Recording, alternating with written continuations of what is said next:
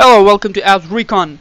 Today tutorial I'm showing you how to shut down a computer perfectly so when you press any key on the keyboard or the mouse the computer doesn't turn on. Sometimes you might notice that your light on your uh, you can say your mouse or your keyboard keeps turns on even if the computer shut shut it down.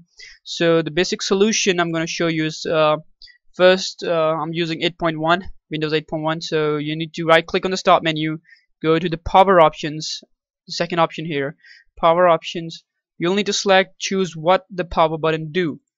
After selecting this button uh, you can see over here turn on fast startup is basically checked. To make this unchecked you need to click this change settings that are currently unavailable. Okay. You need to make this unchecked and save changes. That's it. Now you can try shutting down your computer again. Uh, it will turn off perfectly. However if it doesn't work you be sure to check out my other video that might help you. So this is Abs Recon. Thanks for watching.